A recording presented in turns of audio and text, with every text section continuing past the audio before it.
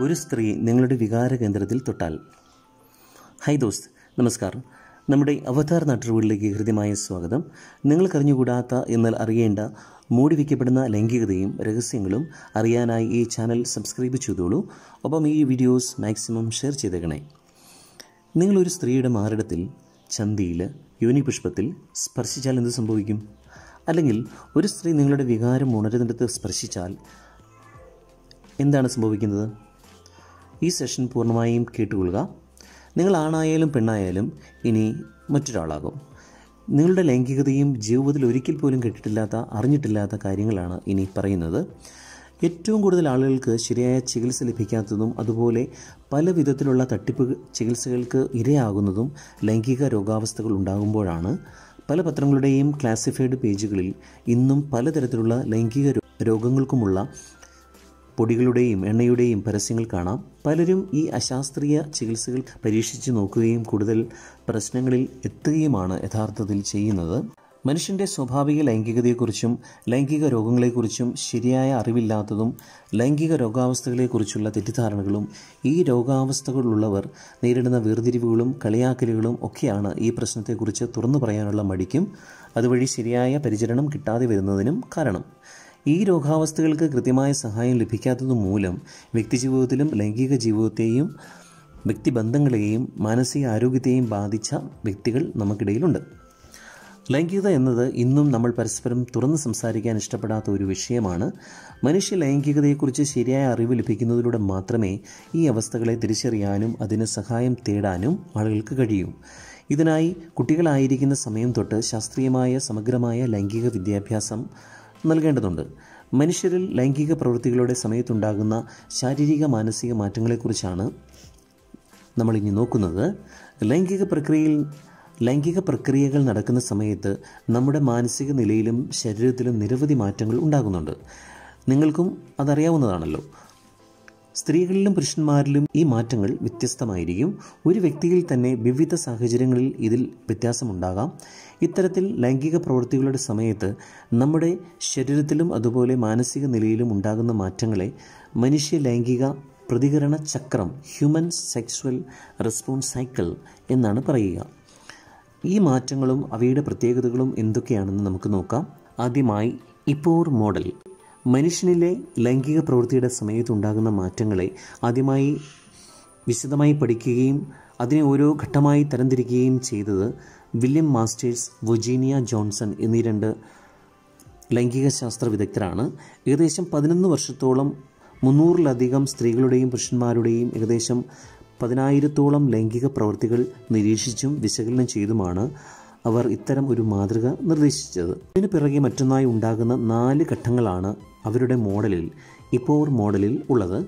ഇവ എന്തൊക്കെയാണെന്ന് നമുക്ക് നോക്കാം.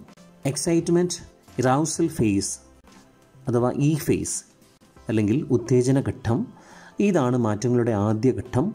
ഈ ഘട്ടം ഏതാനും മിനിറ്റുകൾ മുതൽ മണിക്കൂറുകൾ വരെ നീണ്ടു നിൽക്കാം. ഈ ദൈർഘ്യം പല ഘടകങ്ങളെ ആശ്രയിച്ചാണ് ഇരിക്കുന്നത്. രണ്ട് രീതിയിൽ നമുക്ക് ലൈംഗിക ഉത്തേജനവും തുടർന്നുള്ള മാറ്റങ്ങളും ഉണ്ടാകാം. പുറമേ നിന്നുള്ള പ്രേരകങ്ങൾ കൊണ്ട് അതായത് സ്പർശനം കാഴ്ച ശബ്ദങ്ങൾ തുടങ്ങിയ സംവേദനങ്ങൾ വഴി നമ്മൾക്ക് നമ്മൾക്ക് ലൈംഗിക ഉത്തേജനം ഉണ്ടാവുകയും തുടർന്നുള്ള മാറ്റങ്ങൾ വരികയും ചെയ്യാം. പുറമേ നിന്നുള്ള സംവേദനങ്ങൾ നാടികൾ വഴി തലച്ചോറിലെ ലൈംഗിക പ്രക്രിയകളെ നിയന്ത്രിക്കുന്ന ഭാഗങ്ങളെ ഉദ്ദീപിപ്പിക്കുകയും അവിടെ നിന്നും ലൈംഗിക അവയവങ്ങളിലേക്ക് നിർദ്ദേശങ്ങൾ എത്തുകയും ചെയ്യുമ്പോഴാണ് ഈ മാറ്റങ്ങൾ തുടങ്ങുക.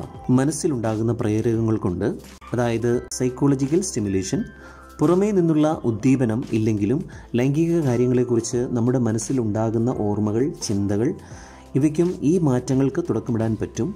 ഈ രീതി ഉള്ളതുകൊണ്ടാണ് സുഷുമ്ന നാടിക്ക് പരിക്കേറ്റവരിൽ പോലും ലൈംഗിക ഉത്തേജനം ചിലപ്പോൾ സാധ്യമാകുന്നത്. എന്തൊക്കെ മാറ്റങ്ങളാണ് ഈ ഫേസിൽ ഉണ്ടാകുന്നതെന്ന് നോക്കാം. ആദ്യമായി സ്ത്രീകളിൽ ലൈംഗിക ഉത്തേജനവും അതോടനുബന്ധിച്ചുണ്ടാകുന്ന വൈകാരിക മാറ്റങ്ങളും ഉണ്ടാവുകയും ശക്തി കൂടി വരികയും ചെയ്യും. ഹൃദയമിടിപ്പ് ശ്വാസഗതി എന്നിവ വേഗത്തിലാകും. രക്തസമ്മർദ്ദം ഉയരും. ഇതോടൊപ്പം തൊലിപ്പുറത്തുള്ള മാറ്റങ്ങൾ ഉണ്ടാവുകയും സ്തനങ്ങളുടെ വലിപ്പം കൂടുകയും നിപ്പിളുകൾ ഉദ്ദീപിക്കപ്പെടുകയും കട്ടിയാവുകയും ചെയ്യും. യോനിയിലേക്കുള്ള രക്തയോട്ടം കൂടുകയും പർപ്പിൾ നിറമാവുകയും യോനിയുടെ നീളം കൂടുകയും സ്രവങ്ങൾ ഉണ്ടാവുകയും ചെയ്യും. ഗർഭാശയം മുകളിലേക്ക് ഉയരുകയും വരിഞ്ഞു മുറുകുന്നത് പോലെ അനുഭവപ്പെടുകയും ചെയ്യും. ഇതോടൊപ്പം സ്ത്രീകളുടെ ലേബിയ ഭാഗത്തും രക്തയോട്ടം കൂടുകയും കട്ടിയാവുകയും ചെയ്യും. ക്രിസരിയുടെ വലിപ്പം കൂടുകയും സംവേദനക്ഷമത വർദ്ധിക്കുകയും ചെയ്യും. ശരീരത്തിലെ മസിലുകൾ വലിഞ്ഞു മുറുകുന്നതും സ്വാഭാവികമാണ്. ഇനി പുരുഷന്മാരിൽ ഹൃദയമിടിപ്പ് ശ്വാസഗതി ഇവ വേഗത്തിലാകും. രക്തസമ്മർദ്ദം ഉയരും. ലിംഗോദ്ധരണം ഉണ്ടാവുകയും അതിന്റെ ബലവും നീളവും കൂടുകയും ചെയ്യും.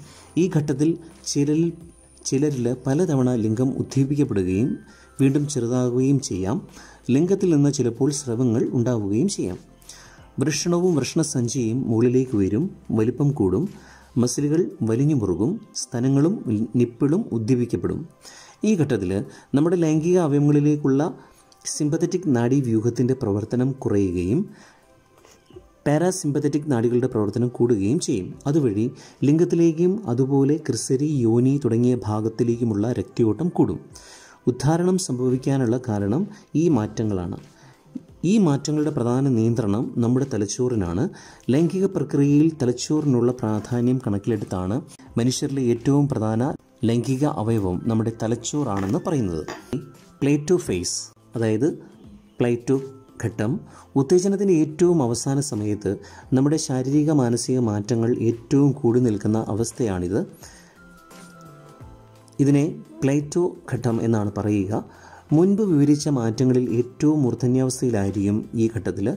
നമ്മളറിയാതെ തന്നെ പല ശബ്ദങ്ങൾ ഉണ്ടാക്കുന്നതും ഈ ഘട്ടത്തിലാണ്.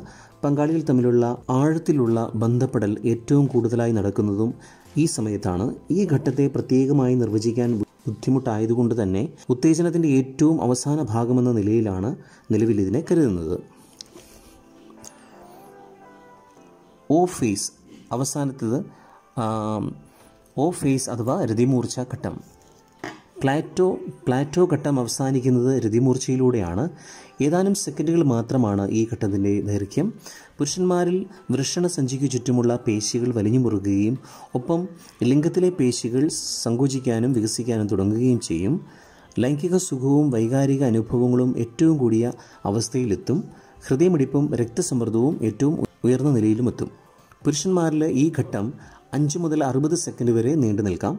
ലൈംഗിക ഉദ്ദീപനം ഏർപ്പെടുന്ന ലൈംഗിക പ്രവൃത്തി രോഗാവസ്ഥകൾ പ്രായം ഇവയൊക്കെ ഈ സമയം നിർണയിക്കുന്നതിൽ നിർണായക ഘടകങ്ങളാണ്.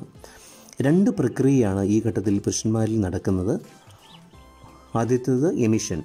അതായത് ബീജം സൂക്ഷിച്ചിരിക്കുന്ന വാസ് ടെഫോൺസ് സ്രവങ്ങൾ ഉണ്ടാക്കുന്ന സെമിനൽ വസിക്കിൾ പ്രോസ്റ്റേറ്റ് ഗ്രന്ഥി ഇവയിൽ നിന്നുള്ള സ്രവങ്ങൾ പേശികളുടെ സങ്കോച വികാസത്തിന്റെ ഫലമായി യൂറിത്രയിൽ എത്തുന്നതാണ് എമിഷൻ. ഇതേ സമയത്ത് തന്നെ ബീജം ഉൾപ്പെടുന്ന ഈ സെമൻ തിരികെ മൂത്രാശയത്തിൽ കയറാതെ ഇരിക്കാൻ മൂത്രാശയത്തിന്റെ താഴെഭാഗത്തുള്ള പേശികൾ ചുരുങ്ങുകയും ചെയ്യും. എമിഷൻ സംഭവിച്ചു കഴിഞ്ഞാൽ പിന്നെ പുരുഷന്മാർക്ക് സ്ഖലനം നിയന്ത്രിക്കാൻ സാധിക്കില്ല. അതിനെ ഇജാക്കുലേറ്ററി ഇനവിറ്റബിലിറ്റി എന്നാണ് പറയുന്നത്. അടുത്ത പ്രക്രിയ സ്ഖലനമാണ്. എമിഷൻ വഴി യുറിത്രയിൽ എത്തിയ സെമൻ ലിംഗത്തിലെ മസിലുകളുടെ സങ്കോച വികാസം മൂലം മുന്നോട്ട് തള്ളപ്പെട്ട് പുറത്തേക്ക് എത്തുന്ന പ്രക്രിയയാണ് സ്കലനം സ്ഖലനം ഉണ്ടായിക്കഴിഞ്ഞാൽ അതുവരെ ഉണ്ടായിരുന്ന ശാരീരിക മാറ്റങ്ങൾ കുറയുകയും സുഖകരമായ അനുഭൂതി കുറയുകയും ചെയ്യും. സ്ത്രീകളിൽ രതിമൂർച്ച സമയത്ത് ഗർഭപാത്രവും യോനിയുടെ ഭിത്തിയിലും ലേബിയയിലുമുള്ള പേശികളും ക്രമമായി സങ്കോചിക്കുകയും വികസിക്കുകയും വൈകാരികമായ മാറ്റങ്ങൾ മൂർധന്യാവസ്ഥയിലെത്തുകയും ചെയ്യും. ഹൃദയമിടിപ്പും രക്തസമ്മർദ്ദവും ഏറ്റവും ഉയർന്ന അവസ്ഥയിലെത്തുകയും യോനിയിൽ ഉണ്ടാകുന്ന സ്രവങ്ങളുടെ അളവ് കൂടുകയും ചെയ്യും. രതിമൂർച്ച അവസാനിക്കുന്നതോടെ ഈ മാറ്റങ്ങൾ കുറയുകയും വളരെ ശാന്തമായ അവസ്ഥയിൽ എത്തുകയും ചെയ്യും. സ്ത്രീകളും പുരുഷന്മാരിലും രതിമൂർച്ചയിൽ പല വ്യത്യാസങ്ങളുണ്ട്. ഏകദേശം തൊണ്ണൂറ് ശതമാനം പുരുഷന്മാർക്കും സ്വയംഭോഗം വഴിയോ പങ്കാളിയോട് ഒപ്പമുള്ള ലൈംഗിക ബന്ധം വഴിയോ രതിമൂർച്ചയിലെത്താൻ സാധിക്കും. എന്നാൽ സ്ത്രീകളിൽ അൻപത് ശതമാനത്തിൽ താഴെ ആളുകൾക്ക് മാത്രമേ യോനി വീഴ്ചയിലൂടെ രതിമൂർച്ച ഉണ്ടാവുന്നുള്ളൂ എന്നാണ് പഠനങ്ങൾ പറയുന്നത്. യോനി വീഴ്ചയോടൊപ്പം തന്നെ ക്രിസരി ഉദ്ദീപിപ്പിക്കുക മറ്റ് ലൈംഗിക പ്രവൃത്തികളിൽ ഏർപ്പെടുക ശാരീരിക ഭാഗങ്ങളെ ഉദ്ദീപിപ്പിക്കുക ഇവയെല്ലാം കൂടി ചേർന്നാൽ മാത്രമേ സ്ത്രീകൾക്ക് പലപ്പോഴും രതിമൂർച്ചയിലെത്താൻ സാധിക്കുകയുള്ളൂ. എന്നാൽ നമ്മുടെ സാമൂഹിക ലൈംഗിക കാഴ്ചപ്പാടുകൾ കൂടുതലും പുരുഷ കേന്ദ്രീകൃതമായതുകൊണ്ടും സ്ത്രീയുടെ ലൈംഗിക പ്രത്യേകതകളെക്കുറിച്ചുള്ള ശരിയായ അറിവില്ലാത്തതും സ്ത്രീകളുടെ ലൈംഗിക സുഖത്തിന് പ്രാധാന്യം നൽകാത്തതും ഒക്കെ സ്ത്രീകൾക്ക് രതിമൂർച്ചയിൽ എത്തുന്നതിനുള്ള തടസ്സങ്ങളാണ്. റെസൊല്യൂഷൻ ഫേസ് അഥവാ ആർ ഫേസ് ഇതാണ് അവസാന ഘട്ടം. ഈ ഘട്ടത്തിൽ ഇതുവരെ ഉണ്ടായ മാറ്റങ്ങൾ കുറയുകയും പഴയ അവസ്ഥയിലേക്ക് ശരീരവും മനസ്സും തിരികെ എത്തുകയും ചെയ്യുന്നു. രതിമൂർച്ച ഉണ്ടാകുന്നവരിൽ ഈ തിരിച്ചുപോക്ക് വളരെ വേഗത്തിലായിരിക്കും. എന്നാൽ ഹൃതിമൂർച്ച ഉണ്ടാകുന്നില്ല എങ്കിൽ ഈ മാറ്റങ്ങൾ വളരെ സാവധാനം മാത്രം കുറഞ്ഞു വരികയുള്ളൂ.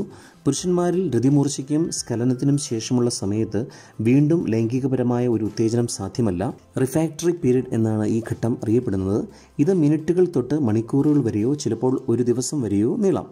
എത്ര നേരം ഒരു വ്യക്തി റിഫ്രാക്ടറി പീരീഡിലായിരിക്കുമെന്നത് പ്രായം രോഗാവസ്ഥകൾ മാനസിക നില ശാരീരിക ആരോഗ്യം ലൈംഗിക ഉത്തേജനത്തിന്റെ ശക്തി തുടങ്ങി പല ഘടകങ്ങളെ ആശ്രയിച്ചാണ് ഇരിക്കുന്നത്. എന്നാൽ സ്ത്രീകളിൽ റിഫാക്ടറി പീരീഡ് ഇല്ല. അതുകൊണ്ട് തന്നെ ഒരു രതിമൂർച്ചയ്ക്ക് ശേഷം ഉടൻ തന്നെ വീണ്ടും ഉത്തേജിക്കപ്പെടാനും ലൈംഗിക പ്രവൃത്തിയിൽ ഏർപ്പെടാനും രതിമൂർച്ചയിലെത്താനും സ്ത്രീകൾക്ക് കഴിയും.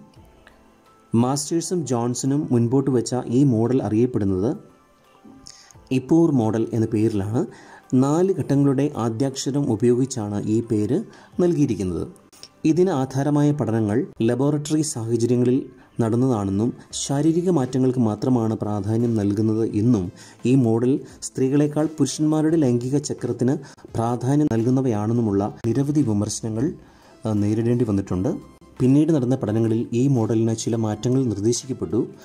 പ്ലാറ്റോ ഘട്ടം എന്നത് ഒരു പ്രത്യേക ഘട്ടമല്ലെന്നും ഉത്തേജന ഘട്ടത്തിന്റെ അവസാന ഭാഗം മാത്രമാണ് എന്നുമായിരുന്നു ഒരു പ്രധാന കണ്ടെത്തൽ. അതുകൊണ്ട് പി ഫേസ് ഈ മോഡലിൽ നിന്നും മാറ്റപ്പെട്ടു. ജിയോർ മോഡൽ ഹെലൻ കപ്ലാൻ എന്ന ലൈംഗിക ശാസ്ത്രജ്ഞ ഇപ്പോർ മോഡലിനെ കുറിച്ച് കൂടുതൽ വിശദമായി പഠിക്കുകയും യഥാർത്ഥ ജീവിത സാഹചര്യങ്ങളിൽ ഉണ്ടാകുന്ന മാറ്റങ്ങൾ കൂടുതൽ വിശകലനം ചെയ്യുകയും ചെയ്തതിന് ശേഷം ചില മാറ്റങ്ങൾ നിർദ്ദേശിച്ചിട്ടുണ്ട്. ഇപ്പോൾ മോഡൽ ഒരു വ്യക്തിയുടെ ലൈംഗിക താല്പര്യത്തിന് സെയറിന് പ്രാധാന്യം നൽകിയില്ല എന്നതാണ് ഇവരുടെ പ്രധാന വിമർശനം. മനുഷ്യന്റെ സ്വാഭാവിക ലൈംഗിക പ്രക്രിയയിൽ ഉത്തേജനം തുടങ്ങുന്നതിന് മുൻപ് തന്നെ ലൈംഗിക ആഗ്രഹം ഉണ്ടാകുക എന്നത് വളരെ പ്രധാനമാണ് എന്ന് കപ്ലാൻ പറഞ്ഞു. അതുകൊണ്ട് തന്നെ ഉത്തേജന ഘട്ടത്തിന് മുൻപ് മനുഷ്യരിൽ ലൈംഗിക താല്പര്യം ഉണ്ടാകുന്ന ഒരു ഘട്ടം വേണമെന്ന് നിർദ്ദേശിക്കുകയും ആ ഘട്ടത്തിന് ഡിസയർ സ്റ്റേജ് എന്ന് പേര് നൽകുകയും ചെയ്തു. അങ്ങനെ അവർ ഇപ്പോർ മോഡലിന് പകരം ജിയോർ മോഡൽ നിർദ്ദേശിച്ചു. ആദ്യം മനസ്സിൽ ലൈംഗിക താല്പര്യം അഥവാ ഡിസയർ ഉണ്ടാകുന്നു. അതേ തുടർന്ന് ഉത്തേജന ഘട്ടം എക്സൈറ്റ്മെന്റ് പിന്നെ രതിമൂർച്ച ഘട്ടം. അതേ തുടർന്ന് പൂർവസ്ഥിതിയിലേക്ക് എത്തുന്ന റെസൊല്യൂഷൻ ഘട്ടം. ഇവയാണ് ജിയോർ മോഡലിലെ ഘട്ടങ്ങൾ. അമേരിക്കയിലും ഡെൻമാർക്കിലും നടന്ന ചില പഠനങ്ങൾ വ്യക്തികളിൽ എപ്പോഴും ഉത്തേജനത്തിന് മുൻപേ ലൈംഗിക ആഗ്രഹം ഉണ്ടാകണമെന്നില്ല എന്ന് കണ്ടു. ചിലരിൽ ഉത്തേജനം ഉണ്ടായതിനു ശേഷമായിരിക്കും ലൈംഗിക താല്പര്യം ഉണ്ടാകുക. ഈ കണ്ടെത്തലുകളുടെ അടിസ്ഥാനത്തിൽ ഡിസയർ ഘട്ടത്തെ വീണ്ടും രണ്ടായി തിരിച്ചു. ഡി വൺ സ്റ്റേജ് അതായത് പ്രസെപ്റ്റീവ് ഡിസയർ ലൈംഗിക ഉത്തേജനത്തിന് മുൻപ് ഉണ്ടാകുന്ന ലൈംഗിക താല്പര്യഘട്ടം ഡി ടു സ്റ്റേജ് അതായത് റിസെപ്റ്റീവ് ഡിസയർ ഉത്തേജനം ആരംഭിച്ചതിന് ശേഷം ഉണ്ടാകുന്ന ലൈംഗിക താല്പര്യം മനുഷ്യരിലും മൃഗങ്ങളിലും ലൈംഗിക താല്പര്യത്തിനും ഉത്തേജനത്തിനും മുൻപോ ഈ ഘട്ടങ്ങളിൽ തന്നെയോ കാണുന്ന മറ്റു ചില പെരുമാറ്റ രീതികളുണ്ട്. തനിക്ക് ലൈംഗിക പ്രവൃത്തികളിൽ താല്പര്യമുണ്ടെന്ന് മറ്റു വ്യക്തികളെ അറിയിക്കാനാണ് ഈ പെരുമാറ്റ രീതികൾ ഉപയോഗിക്കുക. ഫ്ലാറ്റിംഗ് അല്ലെങ്കിൽ കട്ട്ഷിപ്പ് ബിഹേവിയേഴ്സ് എന്നാണ് ഇത് അറിയപ്പെടുക. നോട്ടം വാക്കുകൾ ആംഗ്യങ്ങൾ തുടങ്ങി വിവിധ മാർഗങ്ങൾ ഇതിനായി ഉപയോഗിക്കാറുണ്ട്. ഓരോ സംസ്കാരത്തിലും ഈ പെരുമാറ്റ രീതികളിൽ മാറ്റമുണ്ടാകാം. ഇത് മനുഷ്യന്റെ സ്വാഭാവിക ലൈംഗിക പ്രക്രിയയുടെ ഭാഗം തന്നെയാണ്. നിലവിൽ മനുഷ്യന്റെ ലൈംഗിക പ്രതികരണ ചക്രത്തിൽ കാണുന്ന ഘട്ടങ്ങൾ ഇവയാണ്. ഫ്ലർട്ടിംഗ് കേർട്ട്ഷിപ്പ് ബിഹേവിയർ ലൈംഗിക ബന്ധത്തിന് താല്പര്യമുണ്ട് എന്ന് അറിയിക്കാനായി നമ്മൾ നടത്തുന്ന സവിശേഷ പെരുമാറ്റ രീതികൾ ഡിസയർ ഫേസ് ലൈംഗിക താല്പര്യഘട്ടം ഇത് മുൻപ് പറഞ്ഞതുപോലെ തന്നെ ഡി വൺ ഡി ടു എന്നിങ്ങനെ ആവാം എക്സൈറ്റ്മെന്റ് ഫേസ് ഉത്തേജനഘട്ടം ലൈംഗിക താല്പര്യങ്ങൾ ലൈംഗിക അവയവങ്ങൾ മറ്റ് ശരീരഭാഗങ്ങൾ മാനസിക നില ഇവയിൽ കാര്യമായ മാറ്റങ്ങൾ ഈ ഘട്ടത്തിലാണ് ഉണ്ടാവുക. ഘട്ടം ലൈംഗിക ഉത്തേജനം അതിന്റെ മൂർധന്യത്തിലെത്തി രതിമൂർച്ച അനുഭവപ്പെടുന്നത് ഈ ഘട്ടത്തിലാണ്. റെസൊല്യൂഷൻ ഫേസ് ലൈംഗിക ഉത്തേജനം വഴി ഉണ്ടായ ശാരീരിക മാനസിക മാറ്റങ്ങൾ കുറഞ്ഞു വന്ന് പൂർവസ്ഥിതിയിലെത്തുന്നത് ഈ ഘട്ടത്തിലാണ്. ഇതിനെ തുടർന്ന് പുരുഷന്മാരിൽ റിഫ്രാക്ടറി പീരീഡ് ഉണ്ടാകും. ഈ സമയത്ത് സാധാരണ നിലയിൽ വീണ്ടും ഒരു ലൈംഗിക ഉത്തേജനം പുരുഷന്മാരിൽ സാധ്യമല്ല. മനുഷ്യ ലൈംഗികത എന്നത് വളരെ വിശാലവും സ്വതന്ത്രവുമാണെന്ന് മനസ്സിലാക്കി വേണം നമ്മൾ ഈ ഘട്ടങ്ങളെ നോക്കിക്കാണാൻ. എല്ലാവരിലും ഈ മാറ്റങ്ങൾ ഒരേ രീതിയിലോ ഓരോ തീവ്രതയിലോ ഉണ്ടാകണമെന്നില്ല. മാത്രവുമല്ല ട്രാൻസ്ജെൻഡർ ജെൻഡർ നോൺ കൺഫോമിംഗ് വ്യക്തികൾ നോൺ ഹെക്ട്രോ സെക്ഷൽ ഓറിയന്റേഷനുള്ള വ്യക്തികൾ ഇവരിലെ ലൈംഗിക പ്രതികരണത്തെക്കുറിച്ചുള്ള ശാസ്ത്രീയ പഠനങ്ങൾ കുറവാണ്. അതുകൊണ്ട് തന്നെ ഈ മോഡൽ എല്ലാവർക്കും ഒരുപോലെ ബാധകമാകണമെന്നുമില്ല. പല ലൈംഗിക രോഗാവസ്ഥകളിലും മുകളിൽ വിവരിച്ച പ്രവർത്തനങ്ങളിലാണ് പ്രശ്നങ്ങൾ ഉണ്ടാവുക. ഉദാഹരണത്തിന് പുരുഷന്മാർ നേരിടുന്ന പ്രധാന ലൈംഗിക പ്രശ്നമാണ് ശിഖരസ്ഖലനം. ഈ അവസ്ഥയിൽ ഉത്തേജന ഘട്ടത്തിന്റെ ദൈർഘ്യം നന്നേ കുറവായിരിക്കും. അതുപോലെ ലൈംഗിക ചക്രത്തിന്റെ ആകെ ദൈർഘ്യവും കുറയും. നമ്മുടെ സ്വാഭാവിക ലൈംഗിക പ്രവർത്തനങ്ങളെക്കുറിച്ചുള്ള ശരിയായ അറിവ് സമ്പാദിക്കുന്നത് ലൈംഗിക ആരോഗ്യം മെച്ചപ്പെടുത്തുന്നതിനും ലൈംഗിക രോഗങ്ങൾ തിരിച്ചറിയുന്നതിനും തടയുന്നതിനും ലൈംഗിക ജീവിതം കൂടുതൽ ആസ്വാദികരമാക്കുന്നതിനും സഹായിക്കും. അതിന് നമ്മളെ സഹായിക്കാൻ ഈ- സെഷനിലെ വിവരങ്ങൾക്ക് സാധിക്കും എന്ന് പ്രതീക്ഷിക്കുന്നു. ശുക്രിയ. ഫിർമിലെങ്കി. Bye bye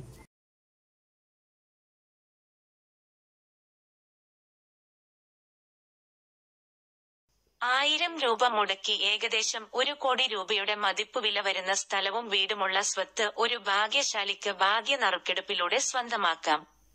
സംശയിക്കേണ്ടതില്ല. നിയമാനുസൃതമായി തന്നെ. ഹായ് നമസ്കാരം. അമ്പത്തിയെട്ട് സെന്റ് പട്ടയ സ്ഥലവും ആയിരം ചതുരശ്ര അടി വീടും ഏലം കൃഷിയും. വെറും ആയിരം രൂപക്ക് സ്വന്തമാക്കാം. അതും സുഖവാസ കേന്ദ്രങ്ങളുടെ നടുവിൽ കേരളത്തിൽ സ്വന്തം വസ്തു വിൽക്കാനുള്ള മൗലിക അവകാശം ഉപയോഗിച്ചു. സ്ഥലത്തിന്റെ ന്യായമായ മാർക്കറ്റ് വിലക്കു വിൽക്കുന്നതിന് വേണ്ടിയുള്ള ഒരു റിയൽ എസ്റ്റേറ്റ് പ്രൊജക്റ്റ് ആണിത് ലോട്ടറിയോ സമ്മാനമോ കുറിയോ അല്ല. യാതൊരുവിധ ഉടായിപ്പുമല്ല. കൊറോണ മൂലമുണ്ടായ ബിസിനസ് തകർച്ചയിൽ നിന്ന് സ്ഥലം വിറ്റു കരകയറാനുള്ള ശ്രമവും കൂടിയാണിത്. ആർക്കും പങ്കെടുക്കാം. ഞാൻ സുനു ജയ്മോൻ തമന്ന ഞങ്ങളുടെ സ്വന്തമായ ഈ പ്രോപ്പർട്ടി കേരളത്തിലെ ഇടുക്കി ജില്ലയിലെ കട്ടപ്പനക്കടുത്ത് കാഞ്ചിയാർ പഞ്ചായത്തിൽ ലബ്ബക്കടയിലാണ് സ്ഥിതി ചെയ്യുന്നത്. ലോകപ്രശസ്ത വിനോദസഞ്ചാര കേന്ദ്രങ്ങളായ മൂന്നാറും തേക്കടിയും വാഗമണ്ണും സമീപത്താണ്. മൂന്നാം വർഷത്തിലേക്കെത്തിയ നല്ല ആദായമുള്ള മുന്നൂറ് നല്ലയിന മേലച്ചെടികൾ. പതിമൂന്ന് തെങ്ങുകൾ നാല് ജാതി ആറ് ഗ്രാമ്പു അമ്പതോളം ടാപ്പിങ്ങിനു പാകമായ റബ്ബർ കായ്ക്കുന്ന രണ്ട് കുടംപുളി കുടിക്കാൻ ആവശ്യമായ കാപ്പിക്കുരു. വർഷം മുഴുവൻ വെള്ളമുള്ള വറ്റാത്ത കിണർ ധാരാളം പ്ലാവുകൾ മാവുകൾ ആഞ്ഞിലി ഈട്ടി. ഓറഞ്ച് റംബുട്ടാൻ ഉൾപ്പെടെ ധാരാളം പഴ ഫലവൃക്ഷങ്ങൾ കള്ളു ചെത്തുന്ന പന എന്നിവയുണ്ട്. അനുദിനം വികസിക്കുന്ന രണ്ട് ലക്ഷം മുകളിൽ മാർക്കറ്റ് വിലയുള്ള ഒരു പ്രദേശത്താണ് ഈ സ്ഥലം. എൺപത് മീറ്റർ റോഡിന്റെ മുൻവശമുണ്ട്. Degree P G B Ed college നാൽപ്പത് meter. Government hospital panchayat village office electricity office Krishibhavan വളം ഡിപ്പോ ബാങ്ക് ഹൈവേ സിഇടി എന്നിവയെല്ലാം നൂറ്റി അമ്പത് മീറ്ററിനുള്ളിലാണ് ഒന്ന് മുതൽ രണ്ട് കിലോമീറ്റർ ചുറ്റളവിൽ C B S E plus രണ്ട് ഉൾപ്പെടെ ഏഴ് സ്കൂളുകൾ. International institute of management medical college engineering college Idukki dam Vagamon Thekkady മുപ്പത് kilometer Kattappana municipality nursing college ഏഴ് കിലോമീറ്റർ. ഈ പ്രോജക്ടിന്റെ ഭാഗമായ സ്കീമിൽ പങ്കെടുക്കാൻ ആഗ്രഹിക്കുന്നവർ ഞങ്ങളുടെ പേരിലുള്ള അക്കൗണ്ടിൽ ആയിരം രൂപ ജോയിനിങ് ഫീ നിക്ഷേപിച്ച് പേരും വിലാസവും രജിസ്റ്റർ ചെയ്യേണ്ടതാണ്. കുറഞ്ഞത് എണ്ണായിരം പരമാവധി പതിനായിരം പേർക്കായിരിക്കും രജിസ്ട്രേഷൻ. രജിസ്ട്രേഷൻ പൂർത്തിയായതിനു ശേഷം രണ്ടായിരത്തി ഇരുപത്തി മൂന്ന് ഫെബ്രുവരി ഇരുപതിന് കട്ടപ്പനയിൽ വെച്ച് ഈ സ്കീമിൽ ചേർന്നവരുടെ ജോയിനിങ് ഫീ രസീതിൽ നിന്നും ഭാഗ്യ നറുക്കെടുപ്പ് നടത്തി ഒരു വിജയിയെ കണ്ടെത്തും. വസ്തു വിജയിയുടെ പേരിൽ തീരാധാരം ചെയ്തു കൊടുക്കും. ഭൂമി രജിസ്ട്രേഷൻ ചെലവ് വിജയി വഹിക്കണം. നിയമാനുസരണമുള്ള ടാക്സ് അടക്കുന്നതാണ്. തപാൽ വഴി രസീത് ആവശ്യമുള്ളവർ ഇരുപത്തിയഞ്ച് രൂപ അധികമായി നൽകണം. ഏതെങ്കിലും സാങ്കേതിക കാരണവശാൽ പ്രൊജക്ട് മുടങ്ങിയാൽ ജോയിനിങ് ഫീ തിരികെ അതാത് അക്കൗണ്ടിൽ നൽകുന്നതായിരിക്കും. വസ്തുവിന്റെ വിലാസം ജയ്മോൻ തമന്ന. തമന്ന ഹൌസ് ലെബക്കട കാഞ്ചിയാർ വില്ലേജ് കട്ടപ്പന ഇടുക്കി ജില്ല Kerala. Kindly credit to Google Pay number എണ്ണൂറ്റിയേഴ് കോടി അമ്പത്തിയഞ്ച് ലക്ഷത്തി പതിനെണ്ണായിരത്തി ഒന്ന്. അക്കൗണ്ട് ഡീറ്റെയിൽസ് സ്ക്രീനിൽ താങ്ക് യു